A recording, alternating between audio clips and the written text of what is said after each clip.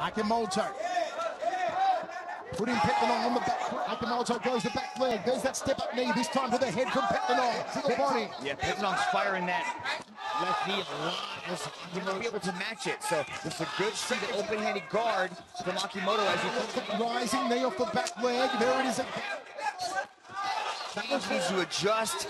He needs to, you know, switch things up a little bit. Step through knee with a round kick off the left leg. It's the step through knee. Breaks away to that damaged rib cage again, and once more Hilton. The knees. Yeah, that's the space he needs to be in, right in Petchtanong's face, but Beautiful timing on that knee, but the New undisputed one bantamweight kickboxing champion of the world, Petchfergus!